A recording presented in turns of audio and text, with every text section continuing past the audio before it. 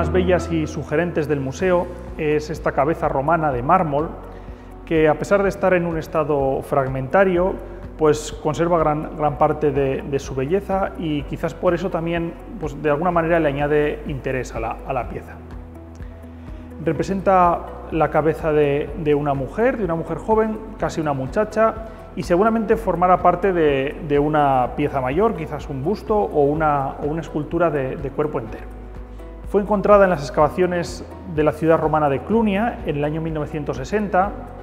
Por su estilo y sobre todo por su característico peinado, se data entre finales del siglo I y comienzos del siglo II, en, época aproximadamente de la dinastía Flavia. Em, su excavador, Pedro de Palol, propuso su, identificación con alguna mujer de la familia imperial de la dinastía Flavia.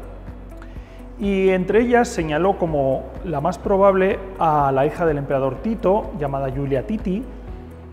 ya que coincidía bastante bien por, su edad, por la época y por el contexto en el que se encontró, ya que está en una zona de la, ciudad, en la zona más representativa, en el foro, el centro administrativo, el centro político, el centro social de la, de la ciudad,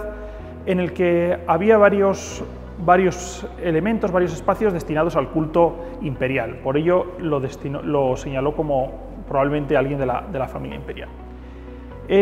Hay que destacar el, trabajo minucioso y del mármol, eh, trabajado con mucha delicadeza, con mucho cuidado, tanto las partes de la cara como el, como el peinado, como digo, muy característico de ese periodo, que está compuesto por una superposición de, rizos, de rizos muy similares, que se van, bucles que se van superponiendo en varias filas, un, peinado muy elaborado